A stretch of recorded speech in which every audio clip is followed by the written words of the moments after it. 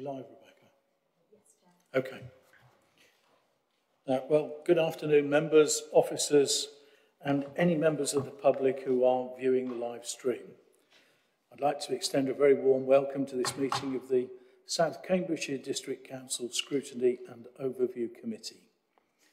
My name is Councillor Grenville Chamberlain, and I have the privilege of being the chair of this committee. Uh, can I remind those members in the chamber that everything on the desk, including your laptop screen, may be broadcast at some point.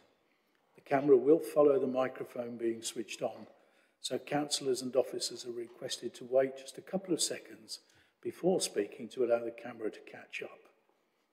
If the fire alarm sounds, then please leave the chamber by the door next near the top table and make your way down the stairs. Do not use the lift. The safe assembly point is next to the marketing suite, halfway along the business park. Whilst in the building, face coverings must be worn. And where possible, masks should be kept on while speaking. A supply of FFP2 masks is available on the table near the entrance to the chamber. During the course of the meeting, the chamber doors will be propped open to enable greater air circulation.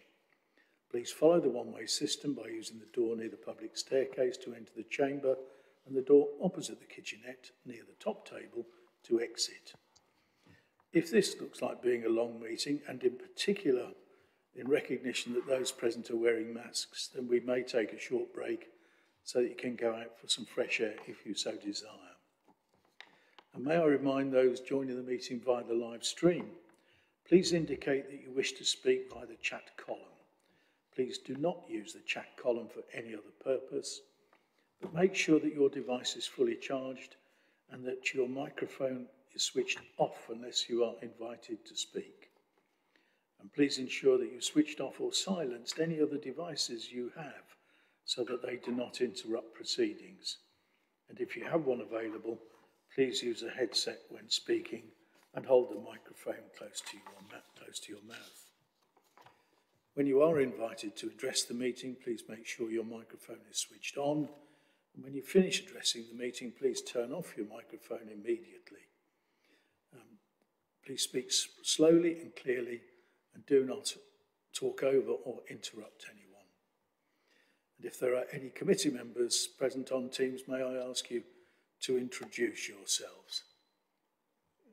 May you, will you just confirm, please, if there are any committee members who are joining remotely? To introduce. I know Councillor Cathcart is there.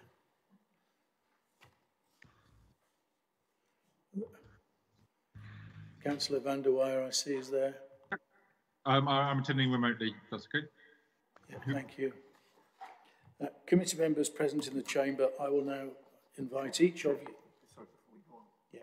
Councillor van der Weyer pointed out that the camera is not on you at all. And, uh, oh, is it not? It's showing this. Camera. The camera is not on me. Can we fix the camera? Chair, I'm just in contact with um, Aaron Clark. Okay. I've been empty chaired. committee members present in the chamber, I will now invite each of you to introduce yourselves. Members, after I call your name, please turn on your microphone, wait two seconds and say your name so that your presence may be noted. As I said earlier, my name is Councillor Grenville Chamberlain, and I am the member for Hardwick Ward. Uh, my Vice Chair, Councillor Judith Rippeth, cannot be here today, so are members happy for Councillor Steve Hunt to act as Vice Chair for this meeting? I certainly am. Has everyone agreed? Thank you very much, Steve, for doing so. And now may I invite you to introduce yourself, please. Yes, thank you, Chair. My name is Steve Hunt, and I'm one of the councillors for Histon, Impington and Orchard Park. Thank you, Steve. We now Councillor Anna Bradnam.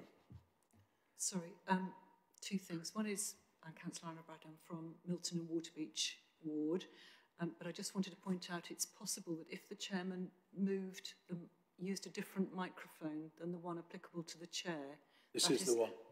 It is the, it is the, right, okay. I just wondered, it wouldn't follow you if it wasn't the right microphone. No, it is the chair's microphone. Okay. Thank you. Councillor Dr Martin Cahn. Uh, Councillor Dr Martin Cahn, uh, member for Histon, in, uh, Histon, Impington and Orchard Park. Thank you, Martin. Councillor Nigel Cathcart.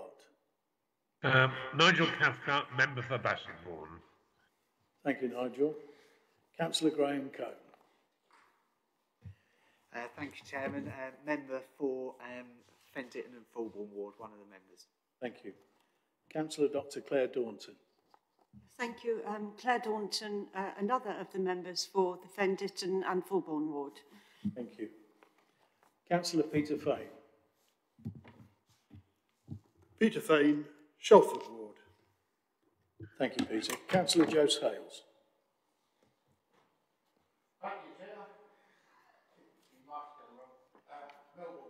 Nice to see you. Councillor Sally Ann Hart. Thank you, Chair. Sally Ann Hart, the other um, member for Melbourn Ward. Thank you. Councillor Alex Malyon.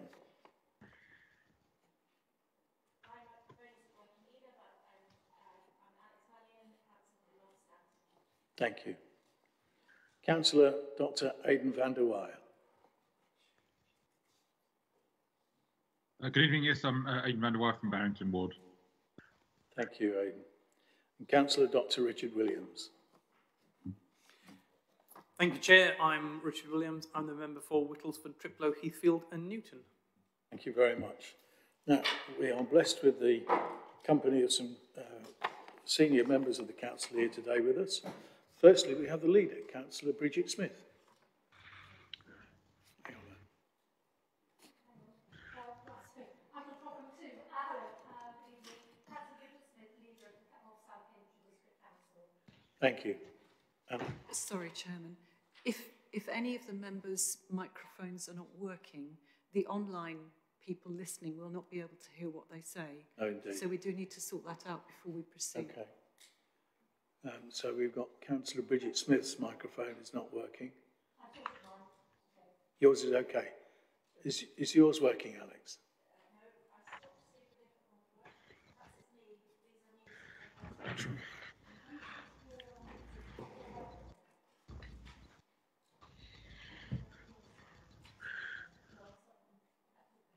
On the left-hand side.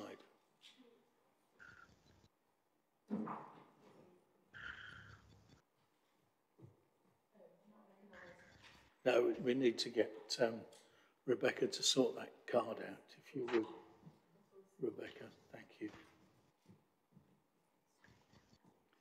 We'll just hold on a moment or two, members, whilst, uh, whilst this is resolved.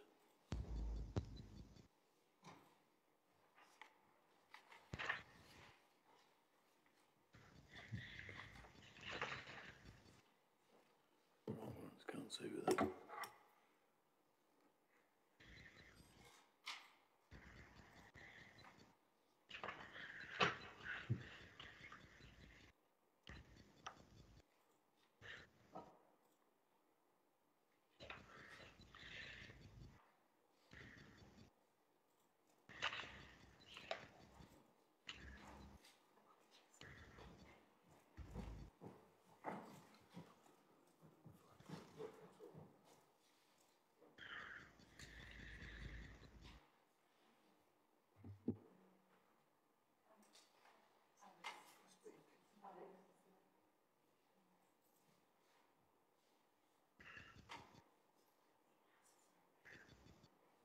for a few moments, if that's all right.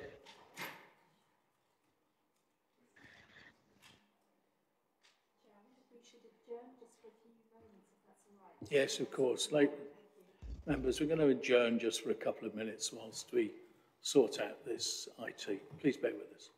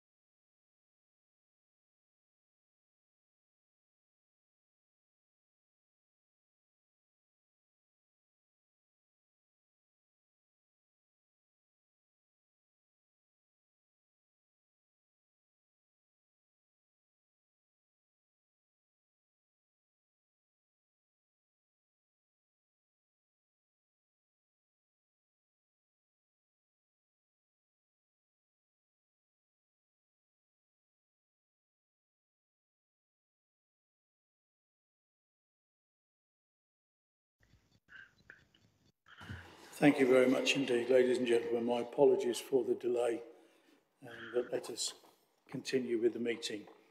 Um, I was seeking confirmation of those members of the Cabinet who are with us, and we have here with us in the room Councillor John Williams. John, perhaps you'd like to just introduce yourself, please. Thank you, Chair. Um, Councillor John Williams, I'm a member for Fen Ditton and Fulbourn Ward and also the lead Cabinet member for Finance. Thank you very much, John. And joining us remotely from the Cabinet, we have Councillor Neil Gough. Neil, would you care to introduce yourself, please? Uh, good evening, Chair. Yes, Neil Gough, uh, member for Cottenham and uh, Deputy Leader. Thank you. Thank you very much. Uh, Councillor Peter MacDonald. Peter MacDonald. MacDonald. Sorry. Yes, good evening. Good evening, Chair. Um, thank you very much. I'm Peter MacDonald, uh, Cabinet Member for uh, Business Support, Economic Recovery. And under item three, uh, I'll wait. I should declare an interest. Thank you very much. Uh, and Councillor Tumi Hawkins.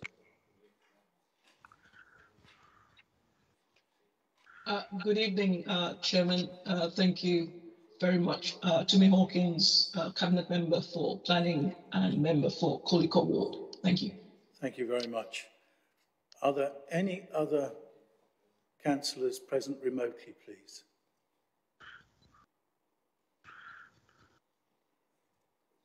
No, thank you very much indeed. So we now have a number of officers with us this evening, and I'd like to welcome them all and start with uh, our Chief Executive, Liz Watts. You're very good evening, welcome, Chair. Liz. Good evening and good evening, members. Thank you. We also have uh, Chief Operating Officer, Anne Ainsworth.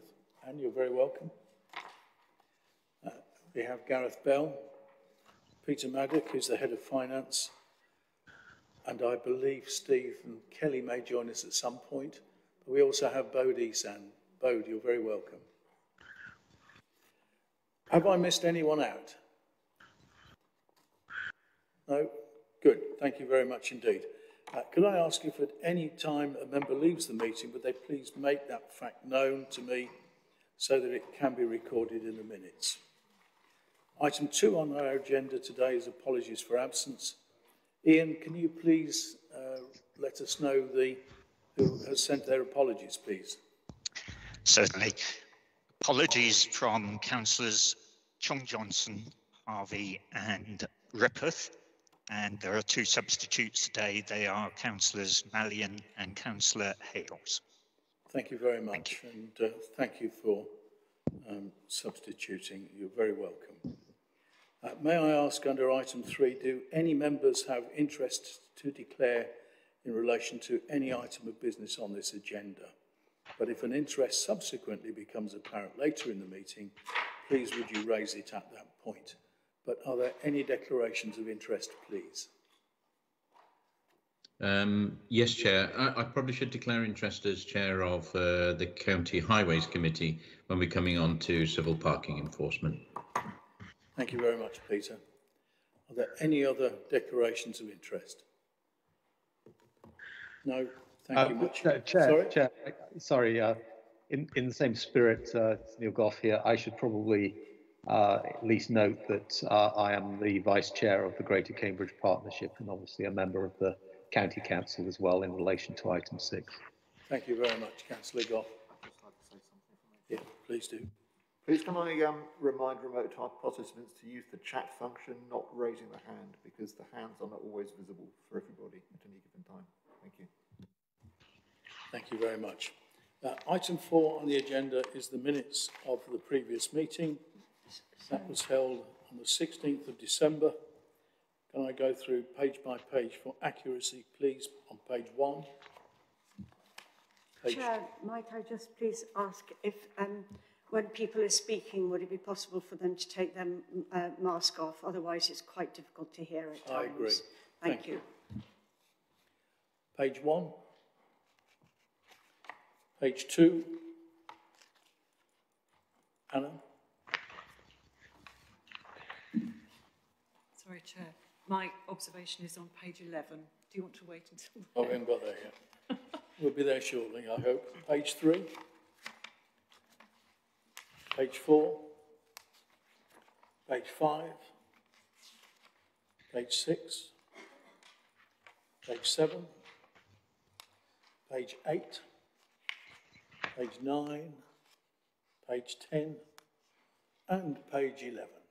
Thank you, Chair. Um, it's, um, it may have occurred like this, but I'm not sure, so I just wanted to check. On page 11, Mhm. um, at the top, we have a supplementary question from um, uh, Jane Williams, who previously asked her question on page 10. Yep. And we have a paragraph which starts NECAP Vision Regulation 19, page 33, and it ends on, would any committee members live on this site? And I just draw your attention to that, which is repeated on page 12, around halfway down the page. And I'm, I'm not sure if that's intended to be repeated, because it, it may have been from somebody else. I, I don't know. I just wanted to check whether it was appropriate that that paragraph was repeated in the minutes. Um, and the second thing is that I think the numbering on page 11, um, so below that paragraph I drew your attention to, we've got paragraphs 9, 10 and 11, but I, I'm not sure that numbering, I think that numbering continues from the numbering on page 10. I, I'm not sure if it's appropriate that that numbering should be there. Yeah, I think that. And I think- just wanted to check whether that's all as it should be. I'm not quite sure what it should be if it's not that, but I think we'll ask for that to be. we just ask for it to be We'll clarified. ask for that to be looked at and for the question of whether that one of those paragraphs should be uh, removed or the answer which is on the re- for the response on page 12 should be combined with that on page 11. But thank you for spotting that, eagle-eyed. Now, I presume that page, pages 12 and 13 are then okay. Subject to those, uh, is everyone content that we approve the minutes? Thank you very much indeed. So we now move on to item five on the agenda, which is public questions, but I can confirm that no questions had been received by the deadline. Uh, the next item on the agenda is item six, and this relates to the proposal for civil parking enforcement in South Cambridgeshire, and I will invite Councillor Neil Gough to introduce this item. Neil, over to you. Thank you, Chair. Um, so, so firstly, I'd like to uh, acknowledge the work of the officers on this, and um, we've got Gareth Bell on the uh, the call with us uh, this evening. Um, he's been very much involved in the preparation of this uh, paper, which I think is is very clear and uh, very concise very welcome. Um, and uh, a number of officers have been involved in this before. Uh, in fact, this this have, has a very long history. This this particular subject matter. In fact, I was looking back in my email, and the first meeting I was involved in on civil parking enforcement was back in July 2018 um, with uh, Peter Fane, who I think is also in the chamber. Um, we were we were talking to officers there um, in the context of uh, issues raised uh, in our villages. Um, what we what we have um, this evening before you is um, is a, a, a really a step in the process of a of an actionable um, plan to introduce civil parking enforcement in South Cambridgeshire, um, which has been enabled by partnership working with the Greater Cambridge Partnership and the County County uh, the County Council. Um, Greater Cambridge Partnership is critical in this uh, because they have agreed to fund the initial setup costs and any deficit over the first five years. You will see in the table uh, there is an anticipated deficit which the GCP will will fund, and therefore there will be no no costs um, uh, associated with the setup or or that uh, period for for South Cambs District Council. Um, that that is critical because those of you who remember there's statutory guidance around um, civil parking enforcement, uh, which makes it very difficult for South Cambs uh, to introduce civil parking enforcement as we don't actually have a stream of parking revenues uh, to fund any deficit. So the GCP has uh, really enabled us here to, to unlock uh, this opportunity. The Greater Cambridge Partnership supports civil parking enforcement because it will reduce illegal and inconsiderate parking in our area and thereby uh, improve um, the flow of uh, the flow of traffic and reduce uh, congestion. I also think that this will be very welcome uh, in our in our parishes. I know a number of parishes have expressed uh, to to us in local uh, in parish council liaison meetings their frustration around the lack of enforcement on parking, which has caused significant problems in a in a number of a number of villages. So I think this will also be very very welcome indeed. The one thing I should um, note is that that this is a, a step in the process. Um, what we're being uh, you're looking at today is, a, is an item which is going to come to cabinet to support an application by the county council to the Department for Transport to introduce civil parking enforcement in South Cambridgeshire.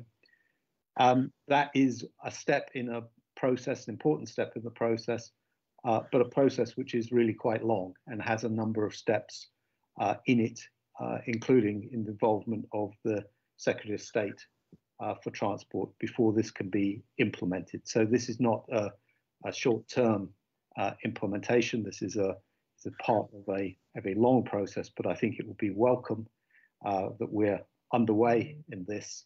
And um, I will close my comments there and take any questions. So thank you. Thank you very much, Councillor Gough. I am aware that there are a number of questions coming. So members, over to you. Councillor Claire Daunton, please. Thank you. Um, and uh, thank you to Councillor Gough for setting us right on the history of, of, of all of this. Um, I'm really welcome this, um, and I think it'll be particularly welcomed by schools where um, it's one of the areas right across the district, I would suggest, where the parking problems, perennial parking problems. My question really uh, concerns the scrutiny of, of this, and there are three organisations involved, three institutions involved, and whether when we're setting up the whole process that scrutiny could be taken into account, where the scrutiny lies and how that will operate. Councillor Gough, did you wish to respond to that? I think it, the question really is with the, within the three organisations, where does the management control lie? Yes, well, I think, you know, I'll, um, I think that the sort of core body which is responsible is the county council, which is uh, which is actually applying, which is making the application. So I, I, I think they will sort of spearhead um, the, the process of um, uh, this this application uh, and, and uh, accountable for for that. Um, I think this very much the the spirit with which this has been prepared uh, to date has been that there has been a lot of cooperation and dialogue between South Cambs District Council and the Greater Cambridge Partnership and the County Council. And I would hope that uh, and, and, anticipate that that would uh, continue. So uh, we would be certainly involved on an ongoing basis in, uh, in, in the development and implementation of this. Thank you very much. we have Councillor Cone and then Councillor Richard Williams. Thank you. Councillor Cone. Uh, thank you, Chair. Um, uh, mine was just a quick question on page 17, um, paragraph 15, um, where it talks about sort of um, enforcement um, being reduced or increased potentially, I suppose, depending on um, like the need for that enforcement. I was just wondering how that would be measured and how that would be decided across the, the sort of um, organisations? Is it that, you know, we would see um, reduced penalty notices or, you know, reduced resident complaints or um, it, that they might move enforcement officers to, to other areas? Okay, I think that's a, you know, that's a, a good question. I think it, it really will be reflective of what the experience of the scheme is. I think in, in an ideal world, what will what would happen is that we would have one year of enforcement, and then everyone in South Cambs would obey uh, the, uh, the, the parking uh, uh, restrictions, and arguably at that point, there's no revenues, uh, there's no problem, and there would be every reason to expect that we could scale back the level of enforcement. So I think this is about um, sort of recognizing that that as we get experience of, of what the effectiveness is and the effects of uh, enforcement officers, uh, we, we may um, kind of modify uh, the degree of activity uh, up or down um, according to uh, to the needs. So this is, I think, a recognition that we're not really precisely in the period at the moment where we know exactly how the uh, the public is going to respond to this. Uh, and, and, you know, you will see in paragraph 14 reference to the fact that you know there is experience that the level of penalty notices in the area remains stable despite enforcement. You know that I think that's a that's an assertion uh, that will be tested when the scheme is introduced. Thank you. Uh, Councillor Richard Williams. Uh, thank you very much, Chair. Obviously, I'm re really pleased to see this and, and, really pleased to see it's moved um, quite quickly over the last um, year or, or, or, 18 months. Um, again, I welcome the support of the GCP. I know that they've been um, pledging support for this for a while, and, and, and, as I say, it's really good to see us taking this up. Um, residents will obviously be, be, you know, really pleased about this. I think for many people it can't come quickly enough, certainly people on Station Road in Whittlesford, and I know many other members have got similar pla uh, places um, with real problems. There are a couple of questions I just wanted to ask. Um, firstly, about how the scheme, or whether the scheme will be run essentially as one service that will cover the city and South Cambs, and I, I think East Cambs is involved as well, or is it Huntingdon? I know one of the other districts is involved. Um, so will it be run as one scheme, or will it be run as three separate schemes? Um, I think that will be very you know, important to the way it develops after that, that year. We, we kind of see um, the level of enforcement um, that we need. One other point, I was also really pleased to see uh, paragraph 21, that there'll be a reporting route um, so concerns um, about illegal parking can be made. I was just wondering if we yet know what the details of that would be and how that would work. Would it be something like, you know, the, the reporting of uh, traffic faults on the county council website, something that's, that's open to the public? Um, and then just a tiny point, which is not a substantive point, but I think there's a typo in paragraph 19, uh, which says SCDC's initiated conversation with the GP and CCC about CP and its and has already stated. I think I think the apostrophe S shouldn't be there. It Would make more sense. Thank you. Yep, thank you very much. Members, are there any more questions? Um, sorry? We had, yeah. sorry, we had Councillor Cathcart online. Okay, I'll come to you in a moment. Councillor Cathcart. Oh, thank you. Yeah, just quick. I mean, this, uh, again, I think this is to be welcomed. Um, uh, this, there are two aspects to it. There's the enforcement side, where people park on double yellow lines or, or whatever. And then there's a much more um, a vague one, which is the uh, inconsiderate parking, um, uh, where people park in areas which cause inconvenience to other people. It's this inconsiderate parking which uh, could actually take an awful lot of time. It is a problem in our villages. I just wonder whether you know, how we will actually look at that, whether we, how we cope with actually identifying areas of inconsiderate parking, or whether we concentrate on purely the um, enforcement of areas where uh, the, the transgression is actually quite clear.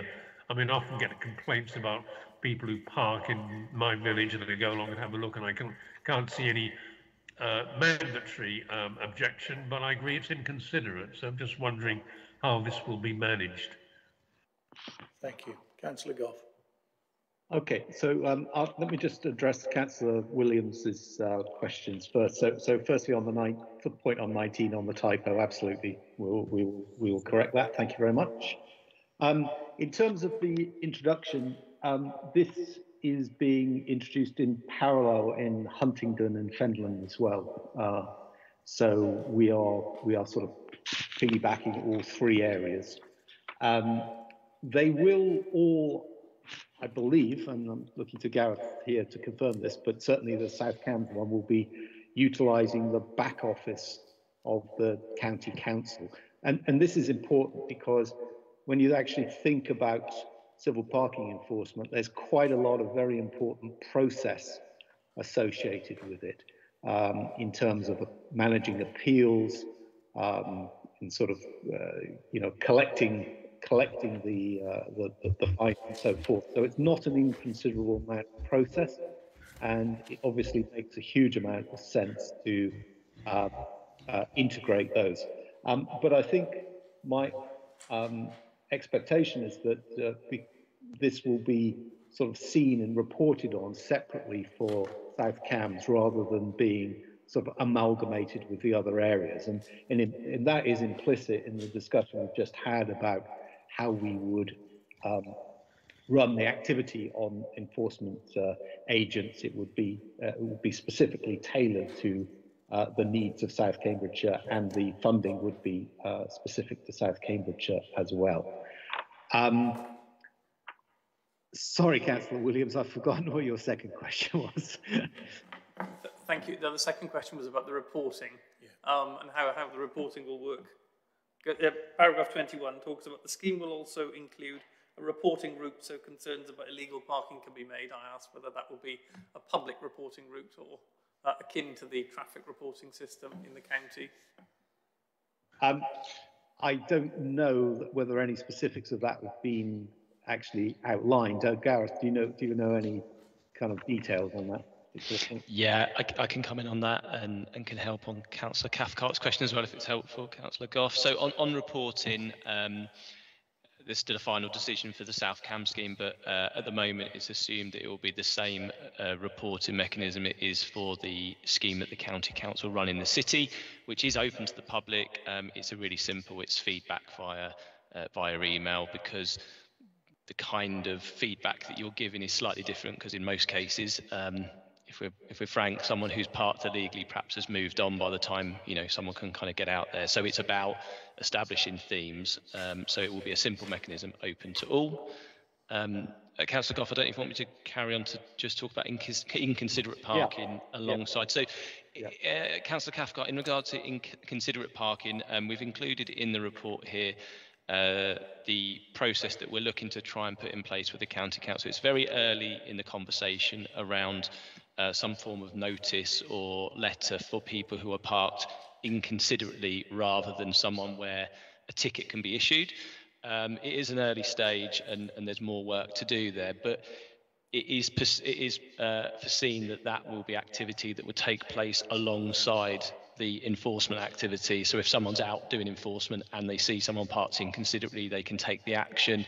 Um, but the scheme wouldn't be set up to be able to resource just going out to areas to look at inconsiderate parking. Thank you. Fine. Thank you very much. Councillor Bradnam.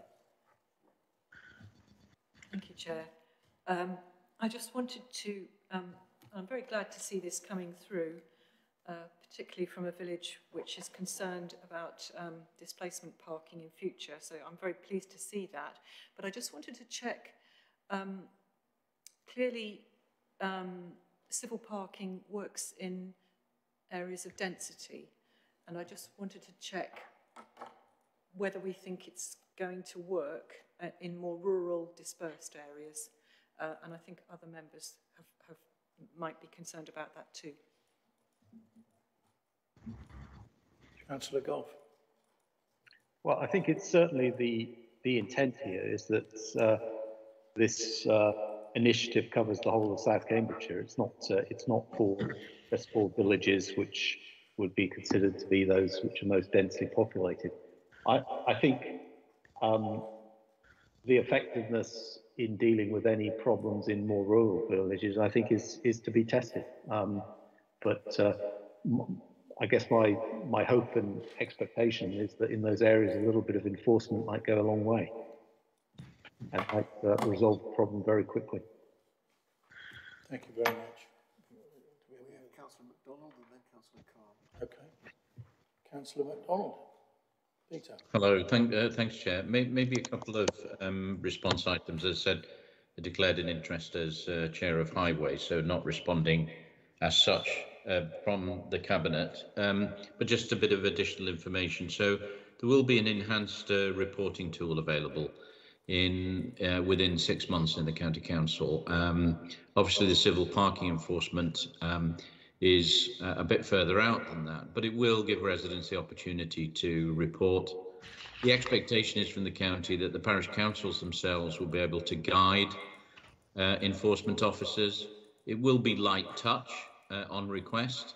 And just to reaffirm what Councillor Gough said, it, it will cover the entire district. So even a small village, relatively small village, if it has a problem, and wants the enforcement team to respond, then they will respond. It's very helpful. Thank you very much. Councillor Martin Cahn.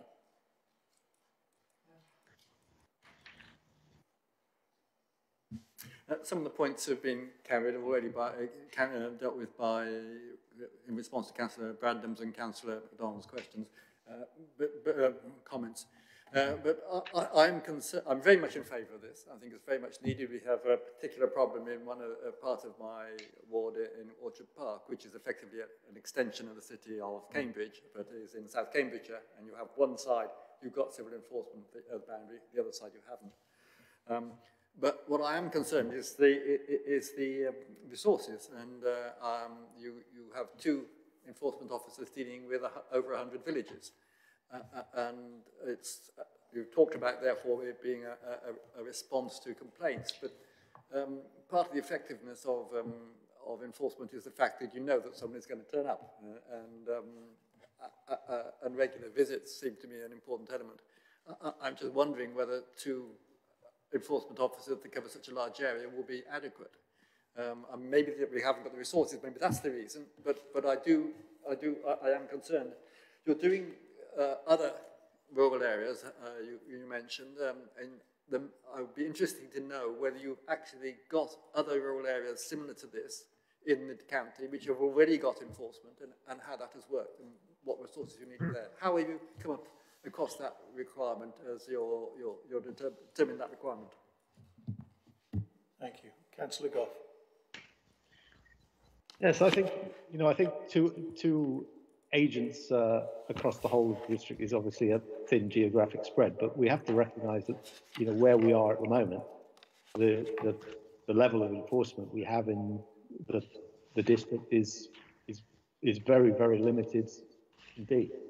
Um, in fact, I can't quite remember the statistic, but I think it was, you know, when we started this conversation, I think the the, the, the number of parking violations which were tickets were issued in I think it was 1819, I think, across the whole year, was 21, um, which was just illustrative of where it sits on the priorities at the moment of the of the police. So, so whether two will solve the problem completely, I very much doubt. Uh, it will not eliminate the problem of of uh, inconsiderate parking, but it will certainly improve it quite significantly because it is two more than we have at the moment. And as we've uh, discussed previously, um, you know, this is not set in stone. Um, this is a, a, scheme which, once introduced, can be can be optified and modified. Thank you very much. Are there any more questions, Councillor? No. Um, thank you very much indeed. We are invited to take note of this. It will be going to Cabinet, I believe, on the 9th of February.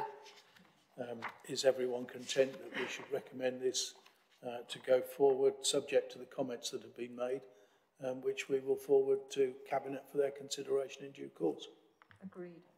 Thank you all very much indeed. Thank you, Gareth, and thank you, Neil, uh, for your contributions. So we now come to item seven on the agenda, which is the uh, very complex and very detailed 2025 business plan that we have in front of us. So I'm going to hand back to Councillor Neil Gough and ask him to introduce the report. Councillor Gough. Uh, thank you. Thank you, Chair.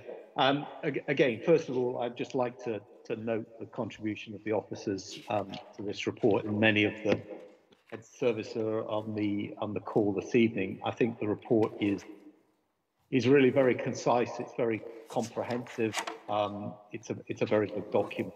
Um, I'm not going to hold up the meeting for too much uh, time. uh, by way of uh, introducing this report, there were there were just a few points I wanted to to, to highlight.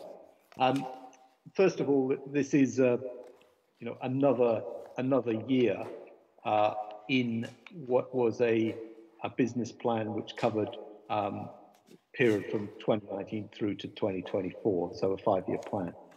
And as one would expect, therefore, uh, it's a plan where the basic key priorities remain unchanged, and there's a tremendous amount of continuity in the objective for this year uh, compared to last year and the year before, because it's all part of one integrated plan.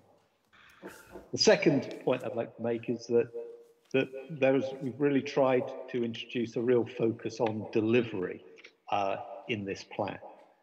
Um, and indeed, in many ways, the most important aspect of this document is not the things which we are going to deliver, but is actually the things which have been delivered. Uh, and the recognition that many of those have been delivered in very difficult circumstances uh, in the last couple of years. And indeed, some of them have actually been overachieved. Well. And I think we should acknowledge that this is, in many ways, um, uh, a report which, which um, kind of formalizes the, the, the success of, uh, and, and the, uh, the, the, efforts of our uh, officers in delivering um, the, the plan.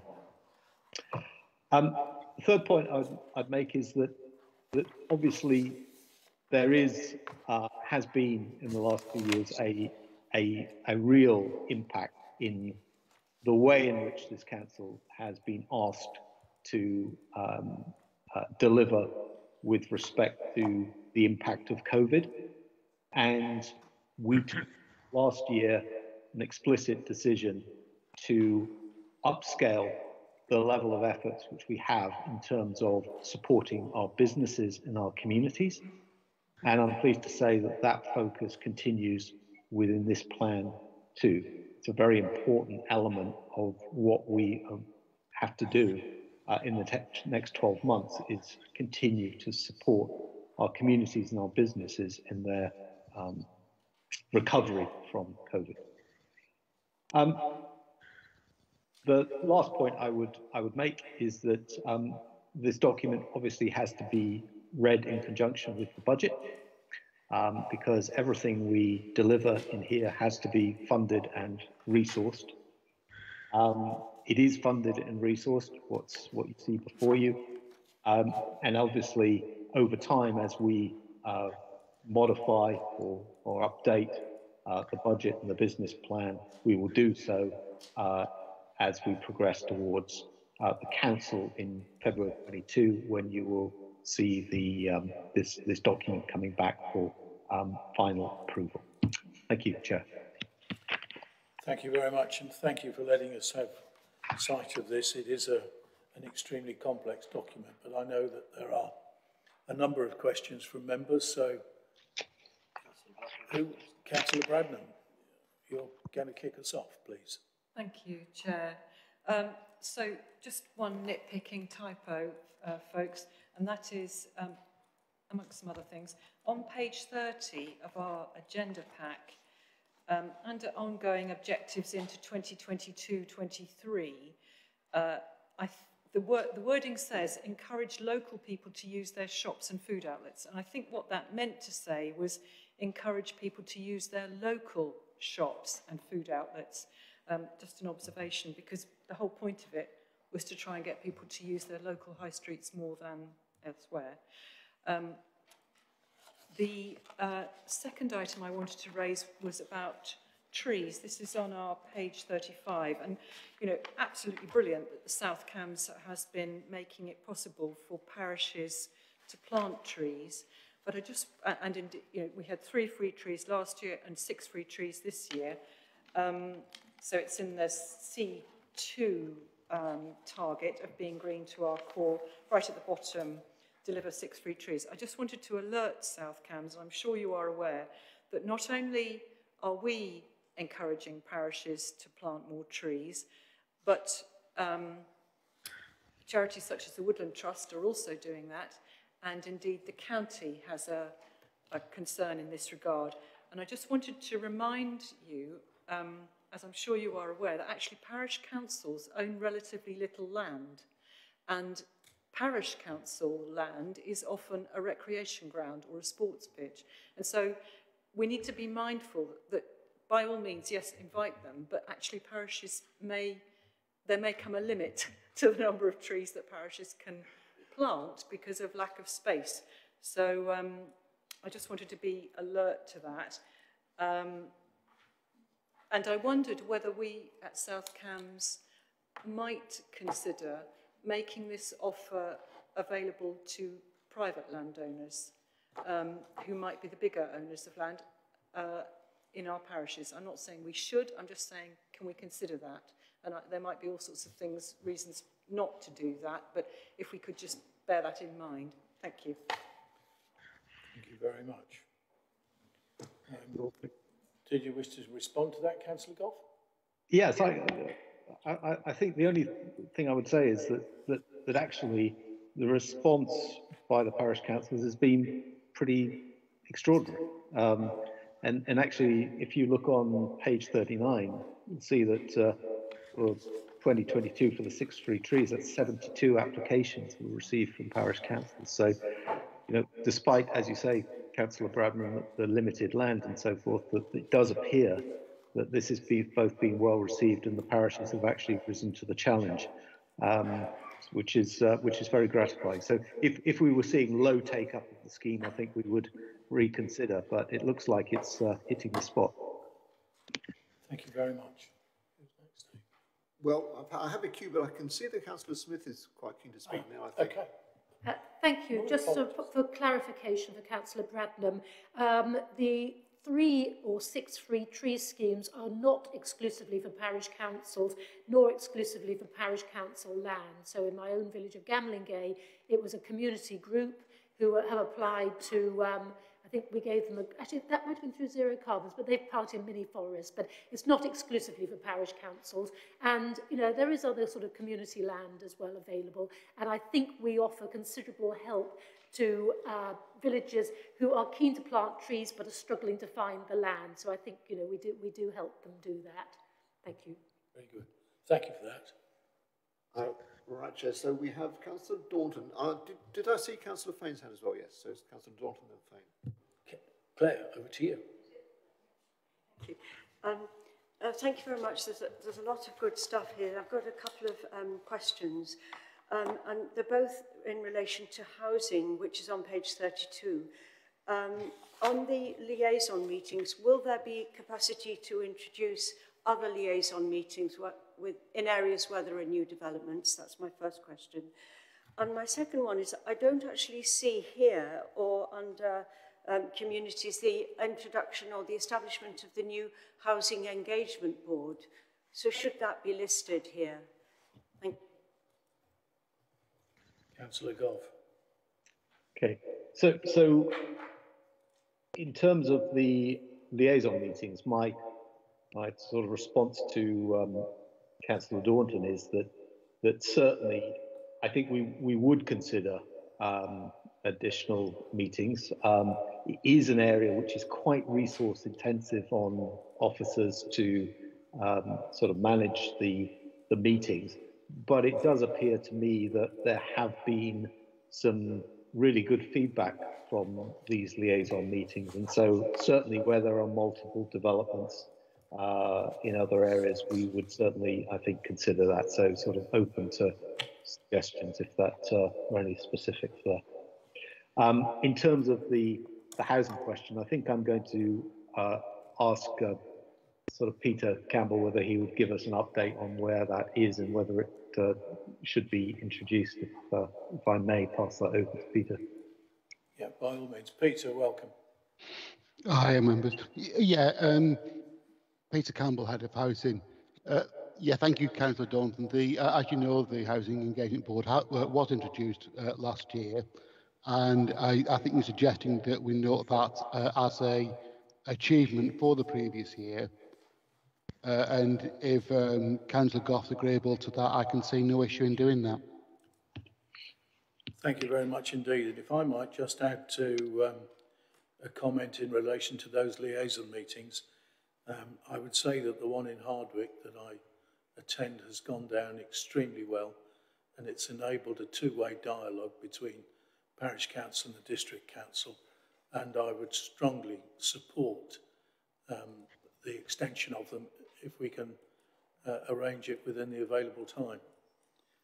So, next. It's Councillor Fane. Councillor Peter Fane. Peter. Thank you, Chair. Um, yes, I very much welcome this report. Very well put together. Um, the, my question really relates to the four key priorities on page 25, which we've long agreed. Um, inevitably, however, the, the context for that changes and therefore perhaps the prioritisation and the um, emphasis. Um, I, I, I, think that in particular, following COP26 and the, the move to net zero, um, we have to look not only at being green to our core, but I would suggest that building homes that are truly affordable has to take greater account of the, the costs of heating those homes with a, a very sudden uh, increase in uh, energy costs and therefore for many fuel poverty um, in prospect. Uh, looking at page um, 31, uh, I think it's perhaps we should be helping businesses to understand at the top of that page there the, the benefits not only of generating their energy, own energy, but also of energy efficiency, um, as well as the wider post-COP26 initiatives. Um, and in looking page 32, B4, improving the energy efficiency of existing council housing, that will of course include the challenge of replacing many of the heating systems. Um, gas boilers will become harder, well, will not be installed in new houses after 2025 of course. And I, I wonder whether we should take account of the council's responsibility uh, for enforcement of the energy efficiency standards for the private rented sector as a whole and not just look, be looking at existing council housing in that respect, perhaps that comes elsewhere. And if I could just join in the typo bingo as though these typos had not already been picked up by officers, I think I'm the first to paragraph 18 on page 23. I don't think we're committing to be an employee of choice um, for people with disabilities, but I may, I may, that may be just my grammar. No, I think you're right. Thank you very much. Um, yep. Councillor Gough, or yeah, that, come back so, I, I, I think Councillor Fane, you make some very good, very good points in, as well. And you know, I, I think in terms of um, the increased emphasis on the issues of um, the environment and particularly uh, energy and uh, efficiency. I, I, I, absolutely agree. I, I think when we when we come to uh, that priority area about truly affordable housing, it was very much always our intent that that was a broad concept of affordability uh, to include both um, the uh, cost to residents of affordable homes of, uh, for example, getting to work or getting to school in terms of their accessibility to accessible transportation, um, and and also the efficiency and energy efficiency of their of their homes. Um, but you are you are right, I think, and we perhaps uh, will take this back and consider it as to whether we need to um, reinforce that uh, that point about uh, energy costs, particularly against the context of what is happening to unit energy prices in this country, which is obviously um, really, really significant. So I, I, welcome those comments, and I think as Cabinet we'll uh, think about those and take those on board. Um, Thank you very much. Is there any others? Yeah, we currently have three more requests to speak from Councillors Cone, Cathcart and Richard Williams. Okay. Councillor Graham Cone. Uh, thank you, Chair. Mine's just a, a quick one. On page 35, um, where we talk about the investment, um, uh, investing in, in green energy, uh, I just wondered if that could be sort of bulked out at all by talking about electric charging points at all across um, uh, South Cambs and, and how we're sort of you know, looking at implementing those both on our own land and maybe in conjunction with the sort of private sector. Um, it's probably referred to in, in the other reports that this sort of links to, so I, I set that in the case. Uh, and the only other thing was on the um, uh, uh fly tipping uh, measures, which I mentioned on page 38. I know that the council has already taken uh, measures about um, like uh, skilling uh, refuge collectors and, and other um, sort of uh, maintenance staff to sort of report fly tipping, and I just wondered if that should be something that's included within the um, in, in the statement there. And that's all. Thank you very much. Councillor Gough. Yes. Um, you know, again, uh, thanks for those those comments. Good, good comments. I think certainly um, if we can, I'm, I'm, I'm, a great fan of making these uh, objectives, if we can, a little bit more quantitative and a little bit more uh, tangible. So uh, we will have a look at whether there's anything we can do with respect to that on electric vehicle charging points. Um, I guess, Councillor Cone, I guess what you're you're headed towards is can we put a number there? Um, we'll see what we can do uh, in, in, to at least in that direction of travel. Um, and, and on fly tipping, you know, I think again this is this is an area which has been a, a sort of focus in, in the sort of processes where we are using our crews to identify fly tips and um, sort of quickly clear them. Uh, has I know I know from my experience in my ward been been successful and there's been recognition of that amongst the residents. Uh, again, we'll have a look and see whether we can. I'm looking at Bode here to see whether he's he's nodding or shaking his head. Um, again, as to whether we might be able to to sort of put some measures uh, to uh, to indicate the success we've uh, we've had and what we might be uh, uh, aiming to do in the future. But I think both both good good points, which we'll take on board. Thank you. Thank you very much. It's very helpful. Councillor Cathcart. Councillor Nigel Cathcart. Uh, uh, thank you. Um, no, just uh, just one thing. The thing about I, I mean, I, I agree with almost everything in these documents, um, uh, and I think they are they're they're, they're all to the good. Um, uh, the problem about having priorities and objectives is that so if it's if it's not as a priority or objective, sometimes it tends to get almost totally overlooked um, uh, or diminished significantly. I mean, one thing that has been diminished over the years um, is our the attention we pay to conservation areas and the quality of our traditional high streets and uh, and the preservation enhancement of our listed buildings and restoring lost architectural detail. Um, now, this was a considerable effort by the council many years ago, um, and I can't see it there anywhere. It could be argued, of course, that this is just one document amongst many which the council consider, um, and I'm not quite sure where to put it, frankly, because there doesn't seem an obvious place for it. But I'd just like to make the point that um, uh, uh, the, the, the, the quality of our quality of our high streets and conservation areas is of importance to all our residents because it adds to the quality of life for everyone who lives in our existing villages. Um, uh, and it's something I think that, you know, it would be nice, uh, satisfactory if it could be considered somewhere within these documents. But as I say, I've looked and looked in vain where, where it could be put. But perhaps it might there might be a place for it somewhere. Thank you. Thank you very much. Councillor Gough, did you wish to say anything? Yes, I'm. I'm sort of. Um, I'm sure it's in here somewhere. Yeah, but, just sort of Liz. We, we did. We did. Um, the, sort of in recognition of what you know. We talk about the sort of quality of art, high streets and the villages and so forth.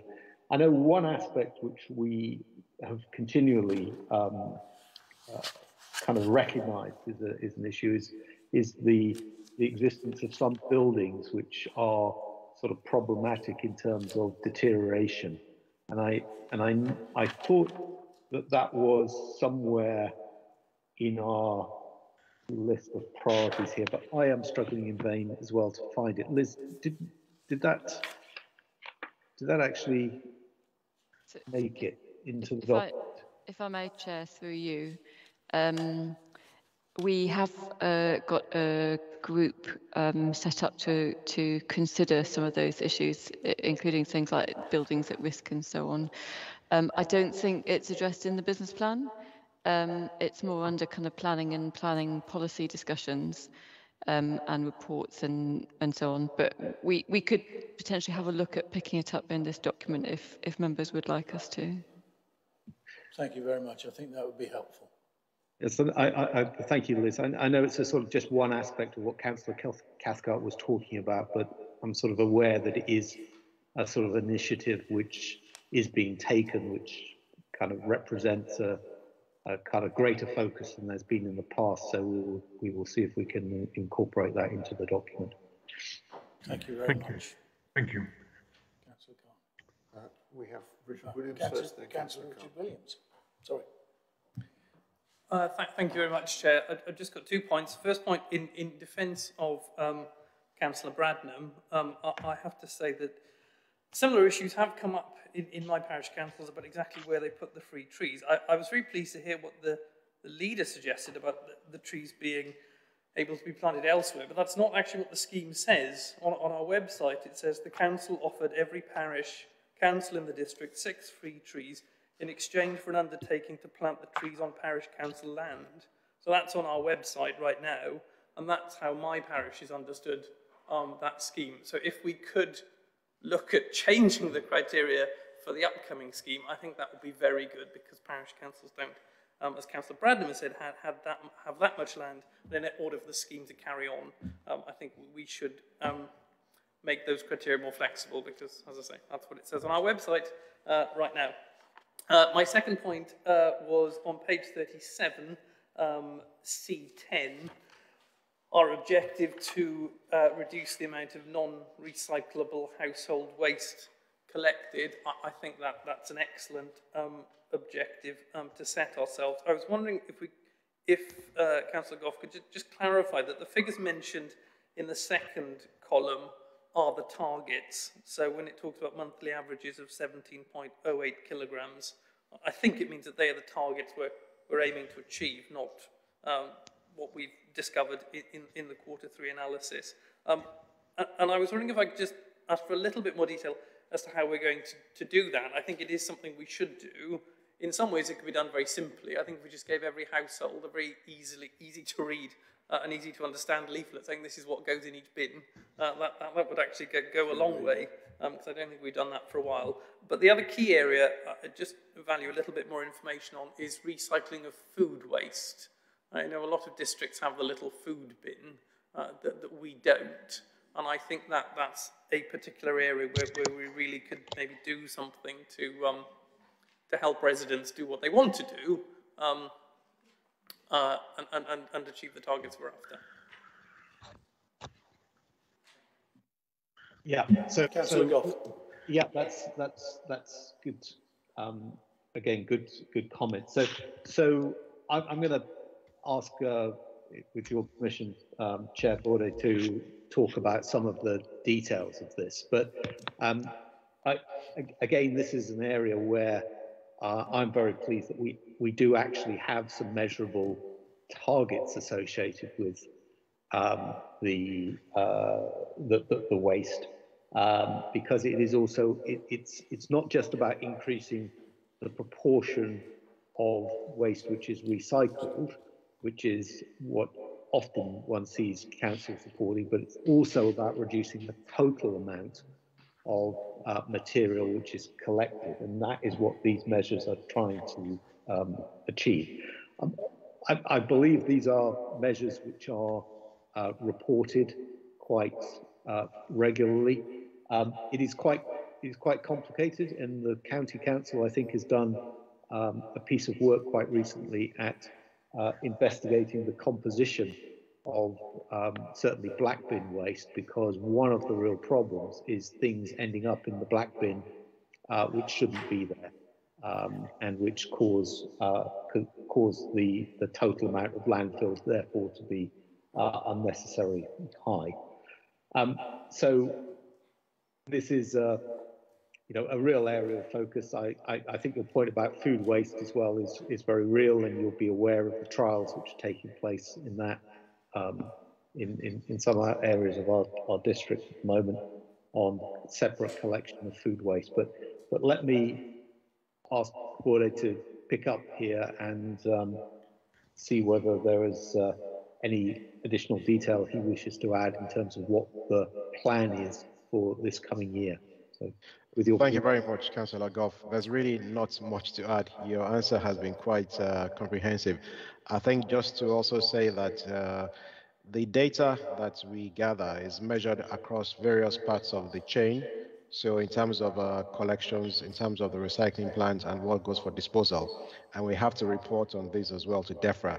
So there are various stages where we collect the data, and there are also various stages where the data is verified and audited.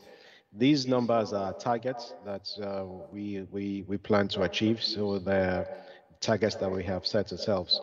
Um, in terms of uh, food waste, we do have a food waste trial that's going on and there are quite a few parishes across the two council areas, the shared waste services, that we collect food waste from. And we're learning what are the best uh, methods.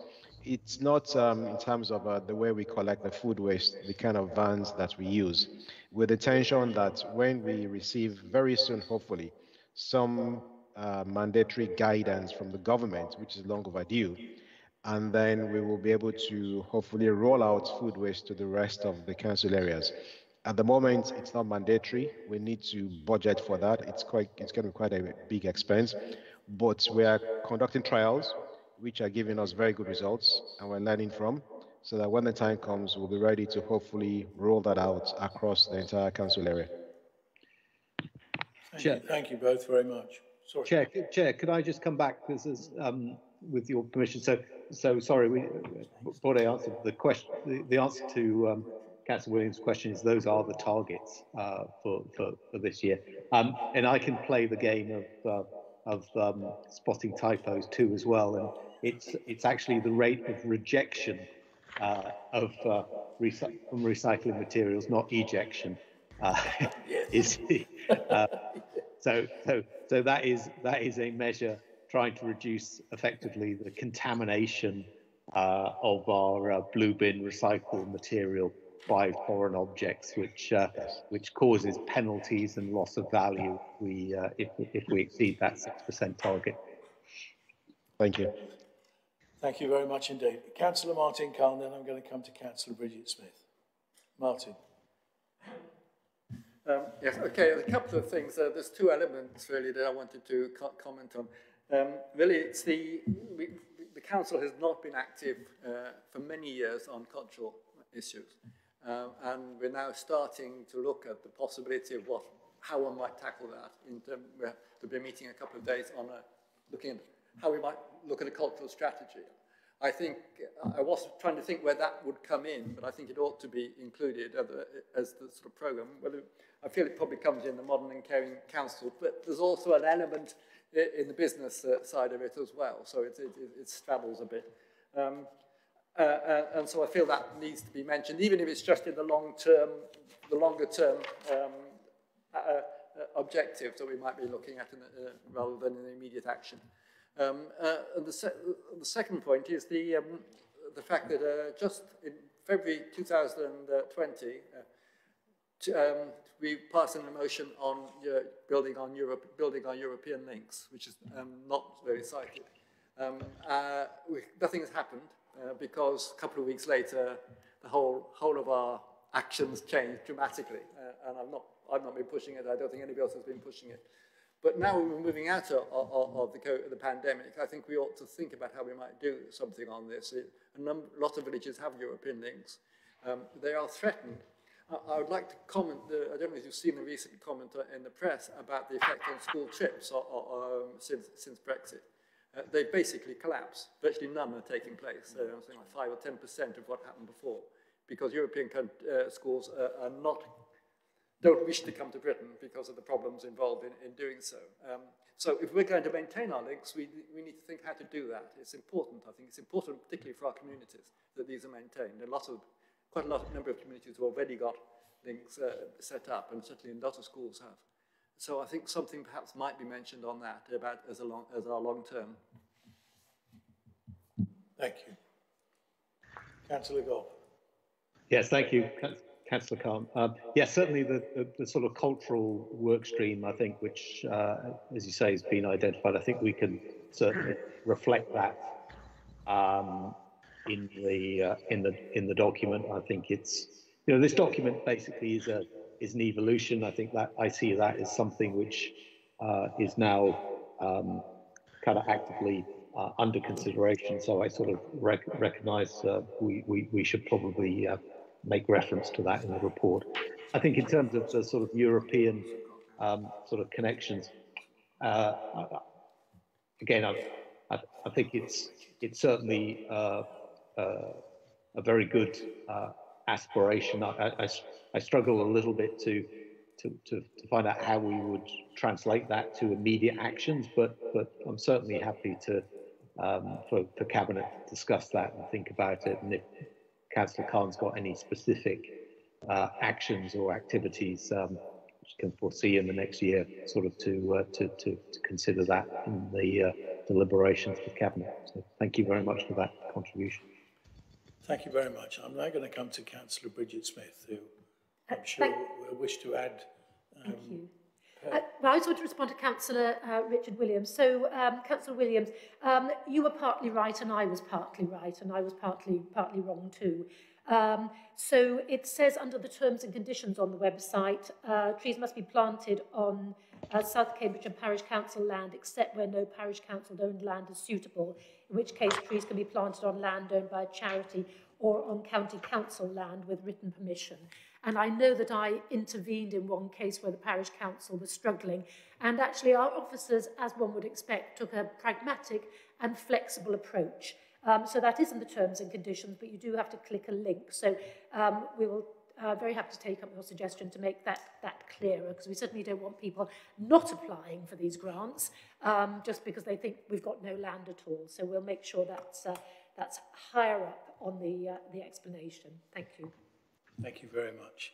Councillor Bradnam, I think you are our final speaker on this topic. Chairman, thank you very much for letting me come back for a second strike at this. I just wanted to say very quickly on our page 37, which is where we're looking at being green, to our core, and we're looking at air quality monitoring, um, and the proposal on page 37, which talks about um, subject to air quality monitoring results, explore feasibility of creating a public space protection order, specifically targeting idling vehicles. Um, I just wanted to ensure that that would reflect the current Road Traffic Act, which, um, so for example, obviously we'd be totally um, supportive of dealing with this, for example, outside schools, or and indeed supporting Network Rail's wish that this should be checked at level crossings where cars might idle and pollute the um, area around level crossings. But I just wanted to ensure that it would exclude, for example, things like people temporary, temporarily stationary because of traffic flow uh, or congestion, um, or at, at um, light-controlled you know, traffic lights, or indeed people, for example, simply de-icing their car on their own drive. I know there's an, there's an exclusion for people doing maintenance, and I don't know whether de-icing your car is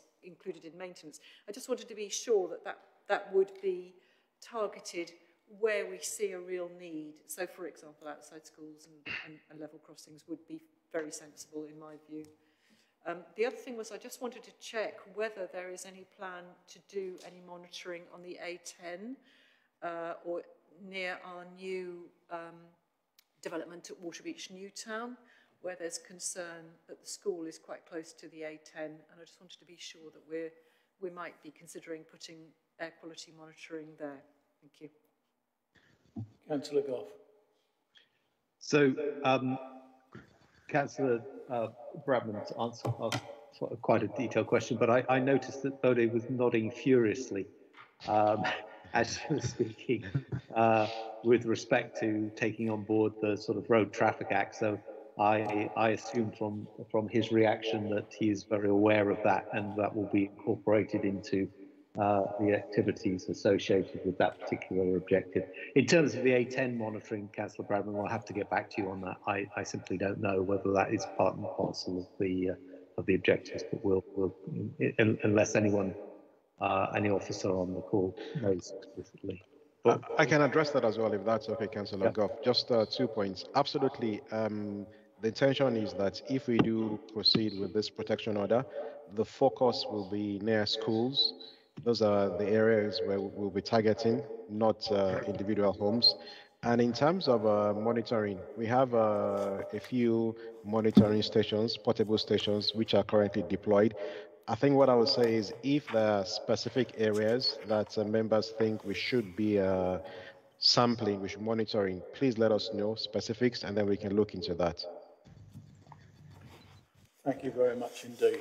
I, I have no more speakers on this, so um, we have made a number of comments, a number of suggestions, many of which have been taken up, and I thank Councillor Gough for that. Uh, the recommendation for us is on page 22. We are invited to consider the proposed draft 2025 business plan at Appendix A with the action plan primarily focused on delivery 2022-23 and to make any recommendations for changes or additions to the plan, which we have done. Am I uh, right in believing that the meeting is minded to uh, approve this for onward transmission to Cabinet? Thank you very much indeed. An excellent document. Thank you for the hard work that's gone into it. Uh, we now come to agenda item 8, which is in the uh, separate package of documents that you received, and that relates to the summary general fund revenue budget. And I will, in a moment, invite Councillor John Williams to present that, but I should just say to you um, that, firstly, thank you so much for the very detailed work that has gone into this. I find the fact that we have uh, separate sheets detailing the expenditure line by line extremely helpful. Uh, but I would just remind members that, of course, this is still very much an ongoing uh, document and there is still a quite a considerable amount of work, work going on. So there are some missing numbers at this time, uh, but they will come together in the next few days. So, Councillor John Williams, over to you.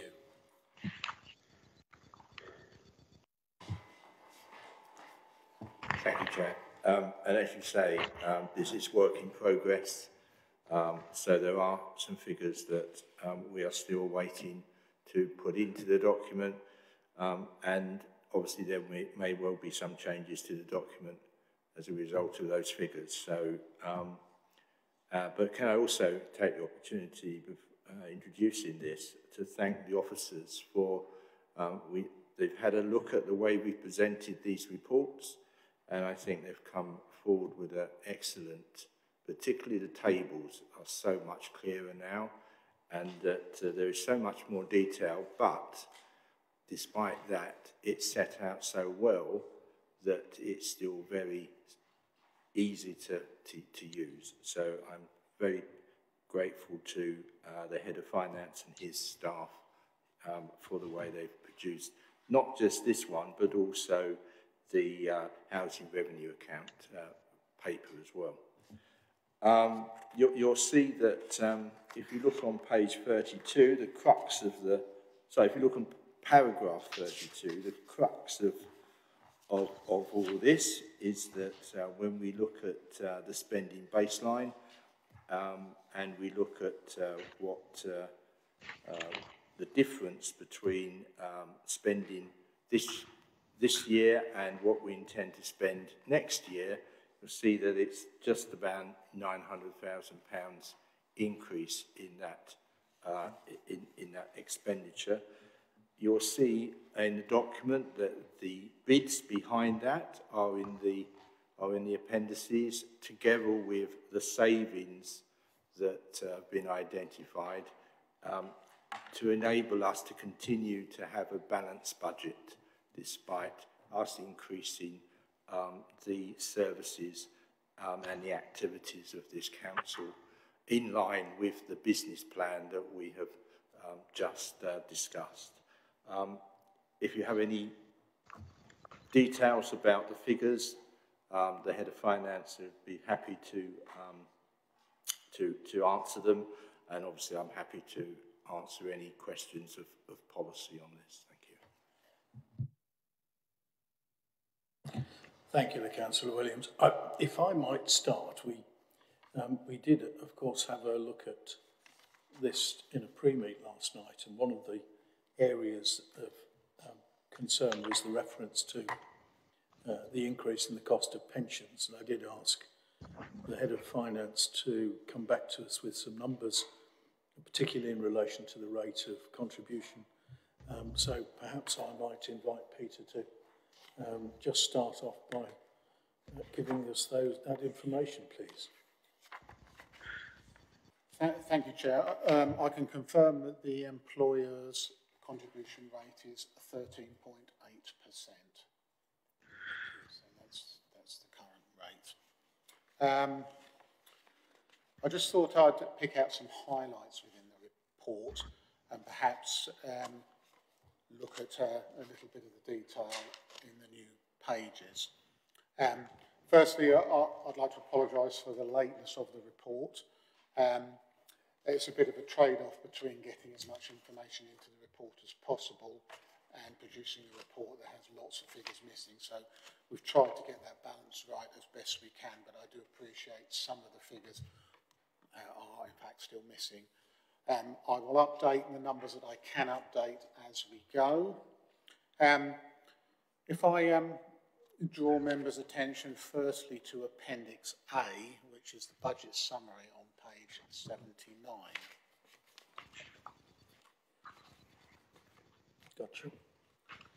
Now, um, I do think we need to do a little bit of work on the numbering because um, I didn't think it was entirely clear in hindsight how we'd numbered this up and perhaps within Appendix A it's probably helpful to refer to which of Appendix B um, each line relates to. So you'll see at the top of Appendix A we have each of the service areas um, and those seven rows, if you like, there refer back to the detailed budget packs.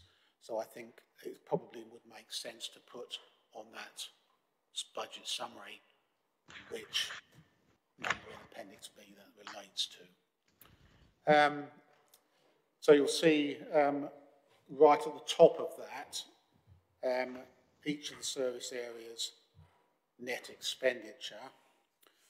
What I would say uh, is that um, expenditure has generally increased next year, um, but as um, the chair mentioned earlier, a lot of this is related to pensions.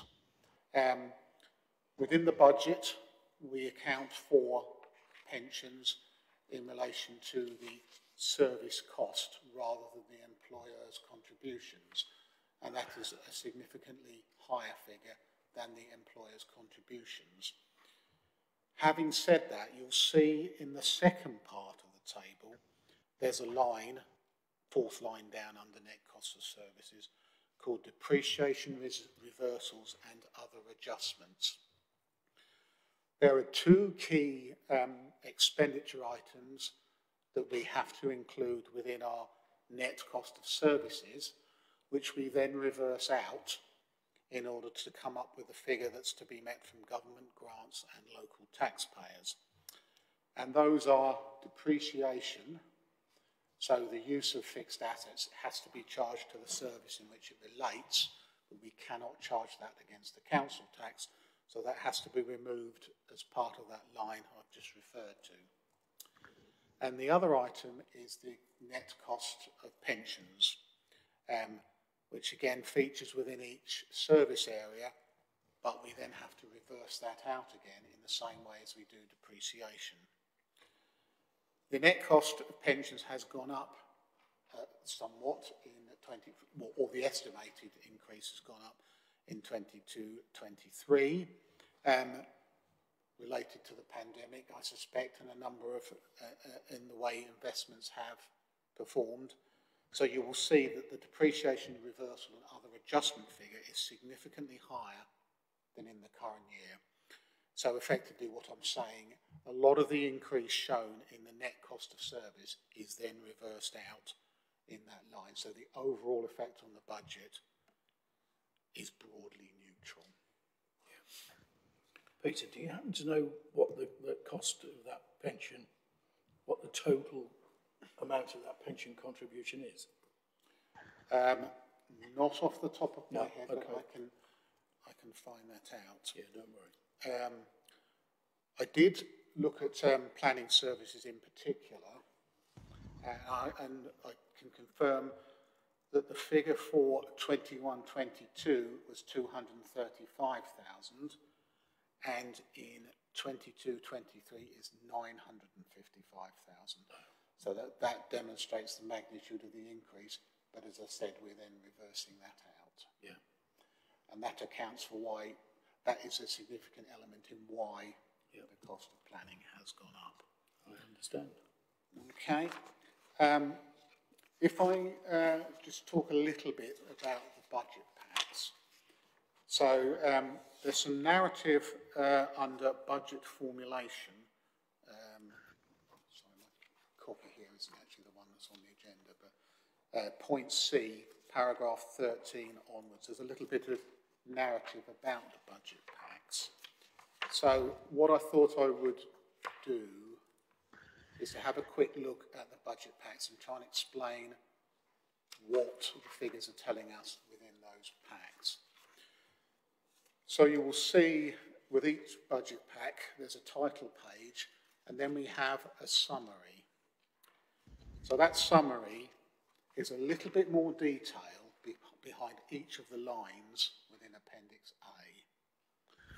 So, for example, on Appendix A, under planning, we had net expenditure of 7 million and 41. And this summary page, the second page within the budget pack for planning, shows a little bit more detail behind that 7,041, uh, 7 million and 41,000. Um, just below that, there is a separate analysis of that figure between the amounts that relate to our ongoing budgets that we're going to incur year on year and the amount of that which is one-off items. So again, that 7041 is split between those two items on that summary page. We then have a number of pages which give further detail and each page again, so the, the, the second page uh, in each, uh, in the next section is then a bit more detail behind the first line on the first page. And within each pack, there's a, a little bit of a, a narrative around what each budget is, some of the key changes. Um, and um, we've been consulting with heads of service around some of the wording there. Um, so there's a little bit more detail behind that. And then finally, at the end, there's what we call the subjective analysis. And this, again, is an analysis of the net expenditure, but by type of expenditure. So employee-related, premises-related, etc. And the types of expenditure are those that are prescribed in one of our accounting um, practice codes called um, the Service Reporting Code of Practice. And this is something that's standard across all local authorities to get a degree of consistency in reporting.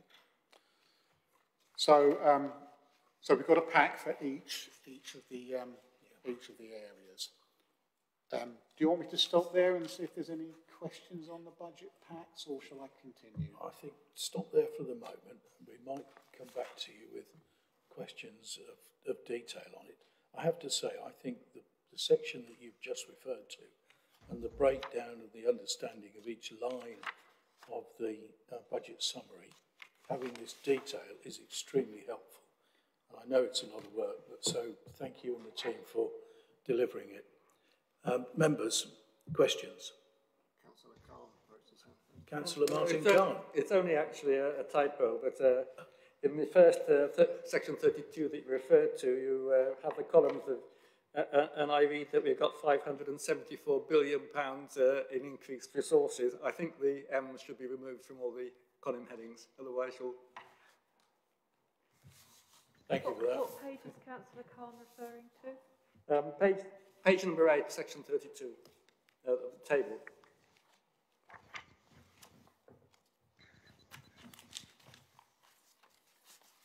Yeah, thank you. It's just pounds. Cheers. I'd love it if we did have that resource, but... Indeed. Probably take a few more people to look after it, though. Thank you very much.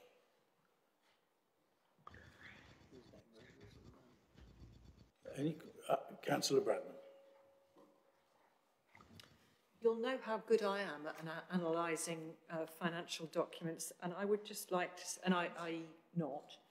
Uh, so I just want to thank uh, Peter Maddock for the format of this report, which is um, more understandable than they have been in the past, clearer than they have been in the past, and with a lot more detail, which I can't pretend to understand all of it, but actually it, I do think that what this demonstrates is that this district council is really taking a grip of its finances, and I really appreciate the work that you've done to do this. Uh, so even if it skims over the top of my head to some degree, um, it, uh, what we can see is that, the that this has been looked at very carefully, and I very much appreciate that. Thank you. Thank you. Thank you. I don't see any more hands going up. Is everyone content? So, okay, Chair, in which case I'll continue and pick out a few more highlights. Um, if you um, if you turn in the report to paragraph 29, you'll see there's a table um, that summarises the provisional financial settlement. So this was issued just before Christmas. Um, we've um, there was a consultation period that ended on the 13th of January, uh, and so far I haven't seen any confirmation or otherwise that the provisional settlement's been agreed. Um, but you'll see there a comparison between the settlement for last year and the provisional settlement for this year. Uh, the business base, the business, can't say it, the baseline um, has remained unchanged. The rural services grant uh, is continuing at the same level as last year. Um, there was some fear that this would be removed, but um, that's continuing. The lower tier services grant, which was a new grant that was introduced in 21-22 as a one-off grant, has in fact been continued for a further year, so that was something that we weren't necessarily expecting. We've also had a new uh, grant introduced called a services grant, which doesn't sound very different from the line above. Uh, but again, um, this is at 182,000 uh, and it's been billed as a one-off allocation just for 22-23. The new homes bonus, um, we had a consultation on this during the spring, I think, um, which closed, uh, and um, we haven't really heard anything more on that. So this, what we actually got within the provisional settlement is new homes bonus based on the old formula. Um, however, they did suggest that there was going to be a further consultation on new homes bonus. So whether they didn't like the responses uh, that were originally received, I'm not sure. But um, there's going to be a further consultation on this. So it's a little bit unhelpful in that um, the future of new homes bonus is still rather up in the air uh, when a review had been uh, suggested at least two years ago. So we wait and see what, what happens there. And then council tax income, the figures quoted there are based on an increase in the council tax base of 1,078.2 and an increase in uh, the council tax of £5 per annum. which equates to 4.9%. Um, the settlement allows us to increase the council tax by 1.99% or £5, whichever is the higher. Um, we've already referred to um, paragraph 32, which shows the differences between uh, the previous year, 21-22 uh, and 22-23. And it's basically, it's comparing the figures in column A on Appendix A, or A or column 1, should we say, to column 5. So the 946 difference is the total movement. Um, just to say that um, in relation to business rates, we don't yet have the figures. Um, the business rate precept has to be set by the 31st of January, uh, and we are going through the process now of setting that. Um, there's a fairly lengthy government form that has to be completed in order to set that. And as I say, we're working through that and the figures will be available hopefully towards the end of this week or early next week. Um, but what I can say is that the, the baselines and our tariff have remained unchanged.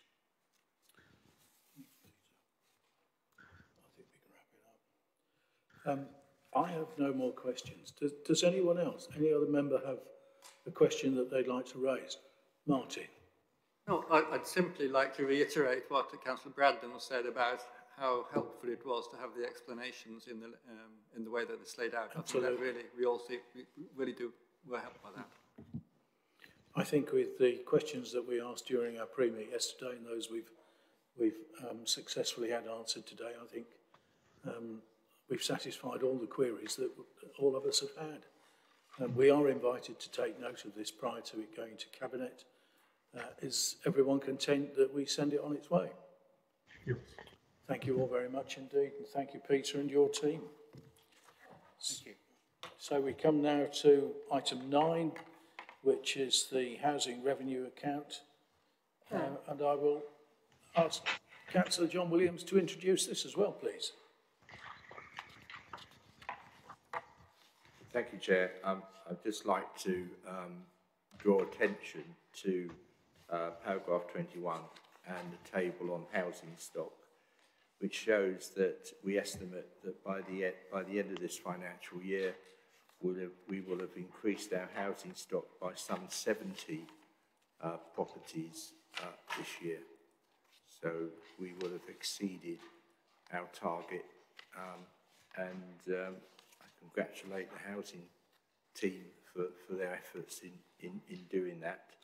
Um, but otherwise, again, I would uh, commend um, the head of finance and his team for a very fine document and a, a document that's very uh, easy to read and well set out. Thank you very much. Members? Councillor Bradnam. Councillor Bradnam. Thank you, Chair. I was actually going to ask for a comfort break, but since you've come to me, I'll ask the question I was going to ask on this. Well, I, I simply wanted to um, thank the District Council for the delivery uh, of houses at Gibson Close in Waterbeach, which we very much welcomed with its proportion of affordable housing. And uh, I also wanted to ask a question about self-build plots, which is on page 112 of the supplement, I have been some, slightly concerned about the delivery of self-build plots and I'm, I think I'm reassured by paragraph 72 uh, where there's a recognition that there have been significant delays in concluding sales and um, that none of these um, plots have been sold in 2020 21, 22. Um, but I would also like us to be mindful of if these are to be sold as plots for self-building, to be mindful of who might be buying them. I know that sounds a bit bizarre, um, but to be sure that they are not actually going to major developers, that, that they are actually going for people to build on site for a house that they want to live in. Um, I say that because the plot referred to on page um, 113, uh, which is at Bennett Close in Milton, I think that one has been, um, uh, well, well, I'm not sure it's actually being lived in, going to be lived in by the person who developed it. And I just would like to be clear as to what our monitoring is of that and how we manage those. Thank you. Councillor Williams.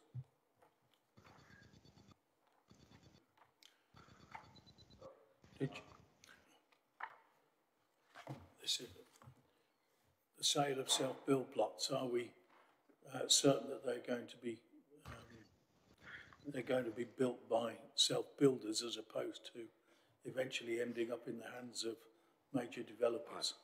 I'm afraid I will have to ask my housing colleagues and um, that, that I don't know if Peter can, Peter Campbell can answer Yeah. that. I was going to say Peter Campbell, Pat Campbell can probably answer that question, but I did want to uh, put on record um, the assistance from Peter and his team in writing the housing revenue accounts report because quite, there's quite a lot of the information has obviously come from them. Indeed, thank you. Peter. You're, ha- you're happy to do that. Uh, of course, the proposal in paragraph 72 is saying that moving forward, we, disposal will not just be self-builders, Uh, that, that will be uh, made more widely. Uh, and I confirm that we um, uh, there is a, a, a legal agreement um, on the properties that have been sold uh, and if there are deviations from that uh, we will consider appropriate action uh, against the purchaser uh, and if uh, Councillor Bradnam wants to speak outside this meeting uh, for, for details I'm more than happy to do that. Thank you Peter. Yes, Councillor Nigel Cathcart. Nigel. Uh, uh, thank you. Uh, just a question really on, on, on rent levels on uh, paragraph 40. I just want some sort of clarification of that. Um, it, it seems to suggest that uh, social housing providers, of which we're could actually reset our rent levels at 80% of the um, uh, of market rent, uh, but our policy is to set it substantially less than that. Um, I just want sort of confirmation that, that that's my understanding of it, um, because there's a huge disparity between council rents and um, housing association rents, uh, and that disparity seems to be widening over time. And, and a number of us always felt that um, the uh, the by keeping council rents as low as sensible and practical, we do provide that sort of um, uh, that uh, the, the the the ability to actually um, you know make, make the rents truly affordable. Um, but I'm just wondering about whether there's there's a long term trend away from that. I just wonder if Peter Campbell could could um, could indicate us where we are on that. Yeah, I'm, I'm happy to do that. There are um, two separate uh, rent levels here, uh, and uh, sometimes the the, uh, the phrases are used interchangeably, but they refer to uh, to different things. So most uh, existing council houses uh, is set as a as, as a social rent. That is based on a, a, formula that's set by government, and sometimes you'll hear it um, referred to referred to target rent, and that is the, uh, the the lower level, which I think that Councillor Cathcart uh, refers to. There is also the concept of uh, affordable rent, uh, and affordable rent is based on 80% of the market rent. Um, and some housing associations uh, well, and, and the council um, uh, use that uh, when we're acquiring um, uh, new housing. So there are the two separate levels to, to, to look at. Uh, and of course, um, when those are both increased by, by inflation, uh, although they may go up by the same percentage, um, the, uh, the, uh, the, the pounds and pence, the financial difference, um, uh, does increase. Yeah. Okay. Thank you, Peter. Thank you. Okay, Councillor Claire Daunton. Thank you. I have a question about um, the garages, um, which is on pages uh, page 103, paragraphs 43 and 44.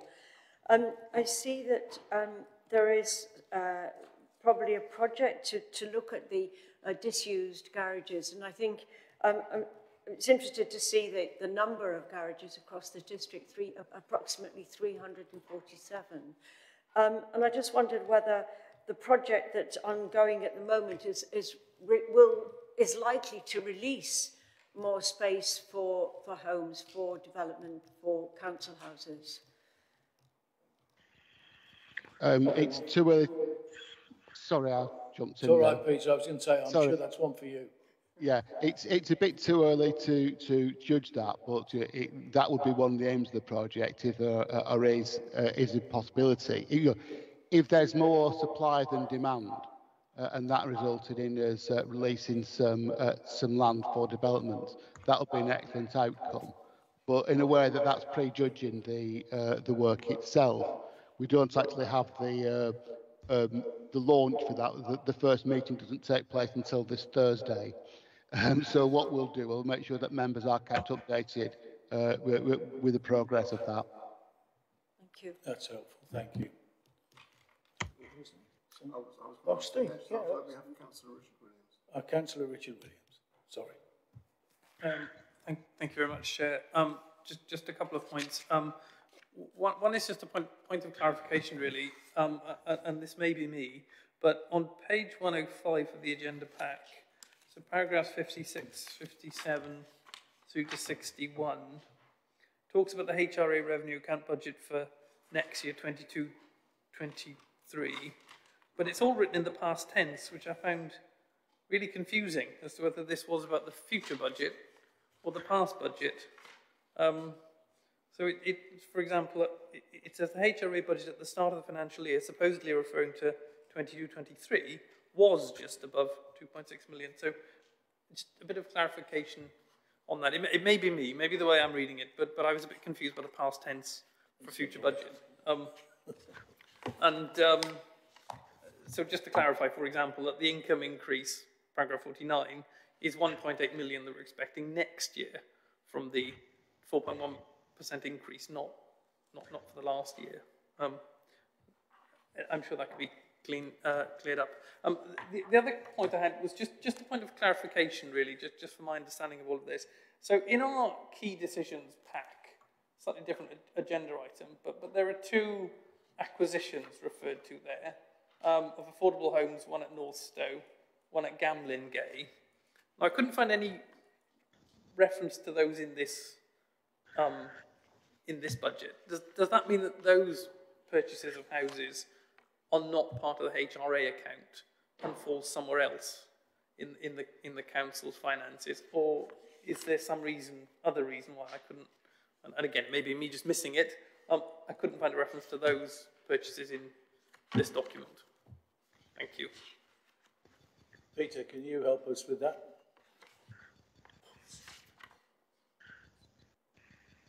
Uh, I'm just looking through Pe- uh, other Peter's report, uh, but normally the uh, I, I think the main report that you've got uh, refers to the revenue aspect of the HRA, uh, and there's also a, a, a capital reserve as well. Uh, indeed, if you look at Appendix C, I ju- ju- ju- just found it, um, which is the, the capital expenditure from the HRA, you will see that the new build, um, which is looking backwards, uh, is, inc- is included there.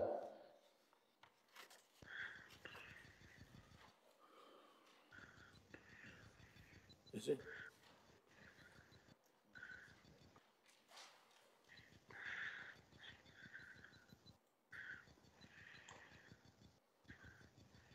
No, no, I don't see it. Oops. It's probably need to check that out. So thanks, thanks for the question there, because um, I mean, there's a there's a number there's there's items in there as unallocated now. It's possible it needs to be fished out of that figure and identified separately.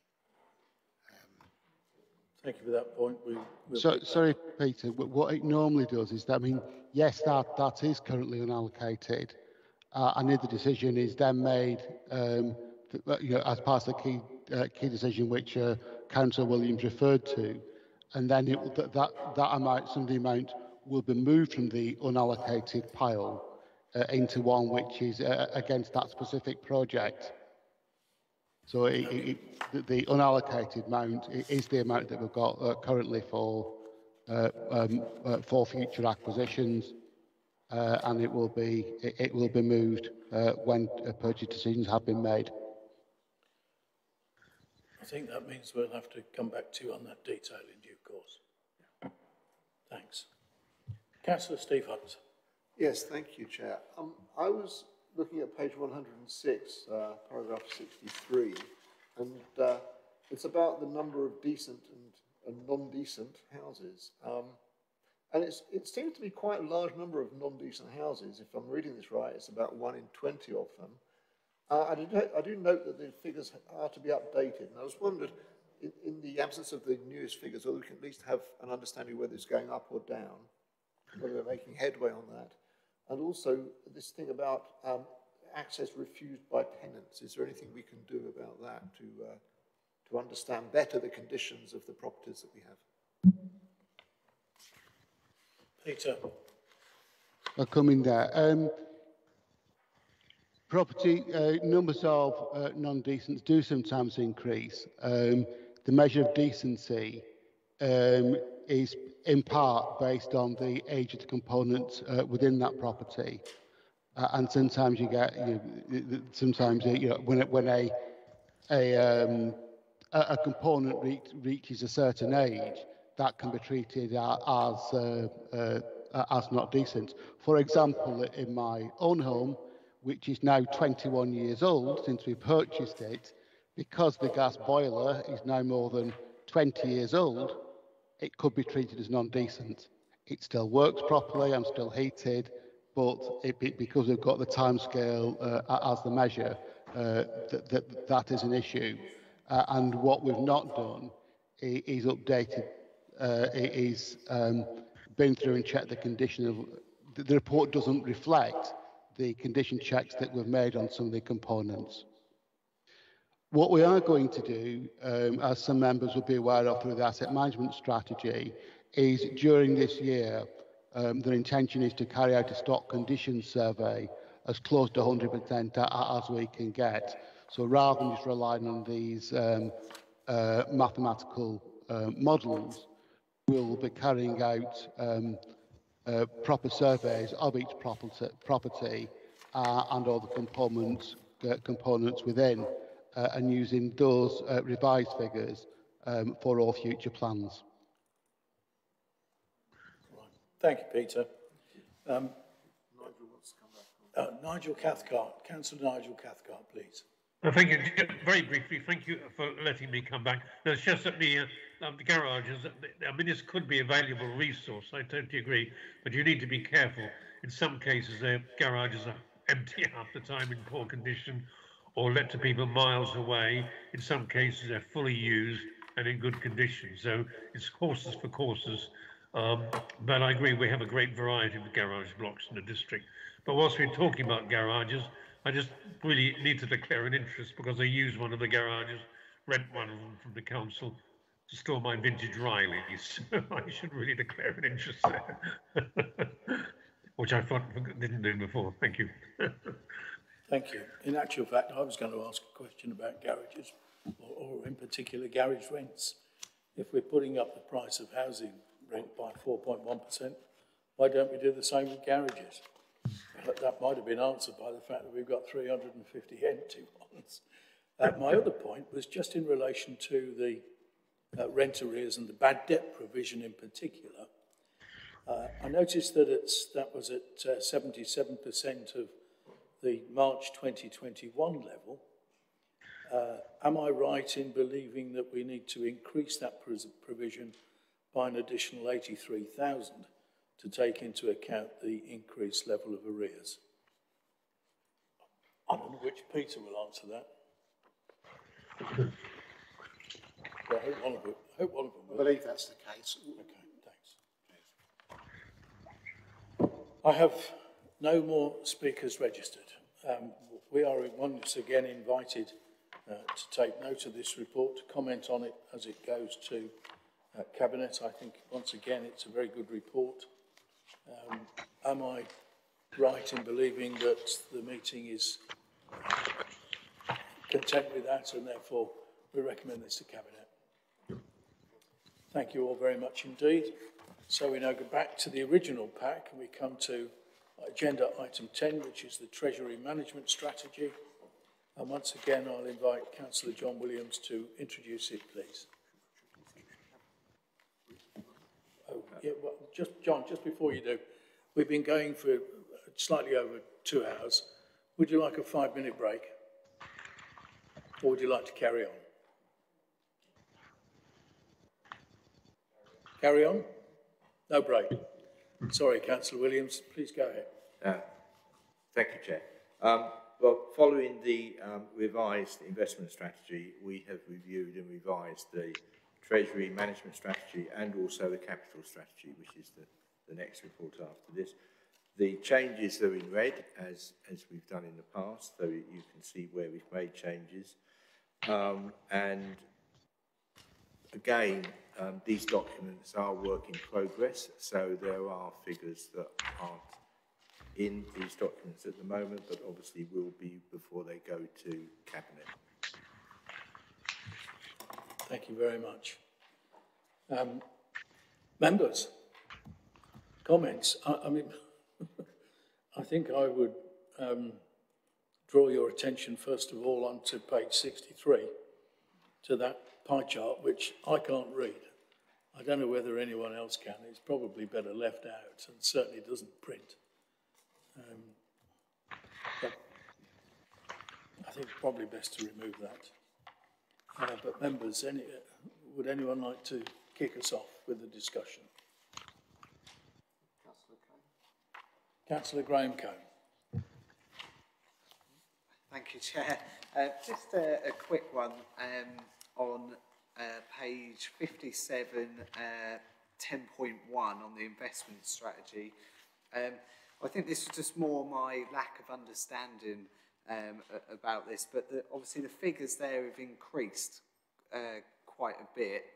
Um, and then we, have added in the fact that um, in red, that sentence about will reduce in forthcoming year as these figures include government COVID grants. Are the, are the two figures including the COVID grants, or is that saying in the, in the year subsequent to that. I, I didn't, I weren't quite sure if that was reflected in them and that was the, the bigger increase or, or not. So, so part of the reason there was uh, we had a bit more invested than we would have had was because we got the COVID grants up front yeah. uh, and we invested it short term uh, until such time as we had to pay it out. So we did we did have additional um, amounts invested simply because we got that money ahead of distribution. So it was just a one-off thing, really, effectively. Okay. Councillor Bradnam. Thank you, Chair. Um, I simply wanted to draw our attention also on page 57 to the objectives in 10.2 and to say, what a relief to read that the authority's objective um, when investing money is to strike an appropriate balance between risk and return, minimising the risk of incurring losses from defaults. So I'm just very glad that we're, we're being prudent. And actually, that message comes through loud and clear through all these reports. Um, and although that's just one let's call it verbalisation of it, um, it, it, exists throughout these reports. I'm very reassured by them. Thank you. I think the key here is that we don't invest in Icelandic banks. Councillor Richard Williams.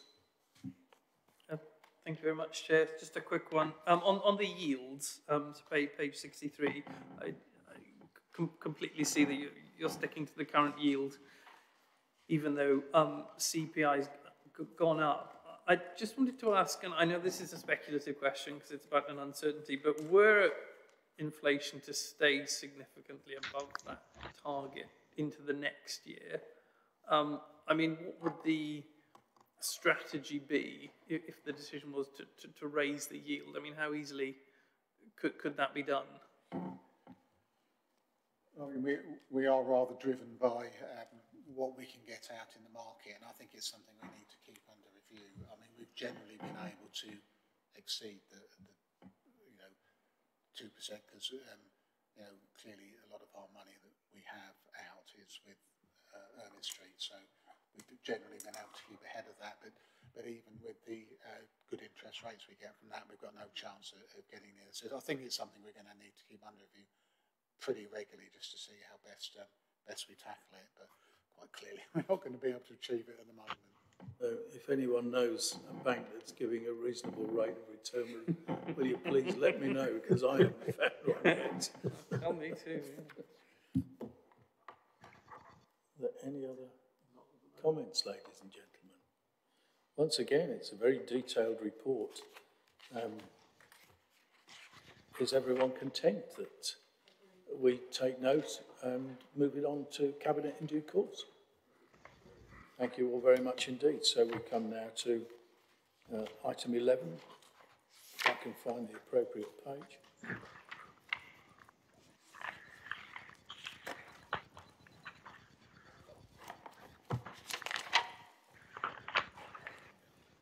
Item, well, I think we've done item 10 and 11 together, have we not? Oh no, we've got the capital strategy. My apologies. Yeah, thank you, John. Yeah, capital strategy, and once again, that's over, over to you to present. Thank you. Thank you, Chair. Well, again, as, as with the Treasury Management Strategy, uh, the changes are in red. Um, with the capital strategy, we have had to make a, a change because of the introduction of the infrastructure um, funding statement, which you, we're now required to do. Um, so that, but also um, we've, we've also looked at um, taking the opportunity to revise it, given the change to the PWLB yeah. uh, rules. And so you'll see in paragraph 9.3, we have also taken the opportunity to amend it to um, to say that there is now a presumption against investments made purely for yield. Thank you very much. Members, Councillor Bradnam. Um, thank you, Chair. Um, I'm going to say it again. I'm really reassured. Paragraph 8.5 on page 98 that the Council's policy on Treasury investment is to prioritise security and liquidity over yield, that is to focus on minimising risk rather than maximising returns, and I absolutely applaud that, and I'm very relieved to see it. Thank you. Thank you. Any other? No. Uh, any other comments from members? No? Are we therefore minded to once again to uh, take note of this and um, send it forward for consideration by Cabinet in due course. Thank you all very much. We now come to item 12, which is the work programme, and I would simply ask you to take note of that. Um, I think we've got some busy meetings ahead of us to come. And we then move on to item 13, and I would ask you to take note that the next scheduled meeting of the Scrutiny and Overview Committee will be on Thursday, the 3rd of March 2022 at 5.20pm. Um, we, that brings us to the conclusion of our business this evening. Uh, could I thank the officers, both those here with us and those who've joined us remotely, uh, my thanks too to all you members for your contributions this evening. Once again, it's been, I think, a very helpful meeting. Thank you all very much. I wish you a safe journey home. Martin, did you wish to say something? Uh, I just want to highlight that uh, I received my uh, agenda this morning. It had been posted on time, so there were delays in the post, and, and the uh, officers might wish to take note of that. In, uh, did, did you receive all your agenda this morning, or just the the, the second part? All my agendas and also the planning committee. which is up tomorrow, which is also, so they've both been delayed. There's obviously postage problems. Yeah, I'm, I'm sure that's something local to your area. Certainly mine, mine arrived the, the latest part by Saturday morning. So I've had, a, I've had a little more time to look at it. But, um, really? Oh my goodness. Well, um, are we, are we offline, Rebecca?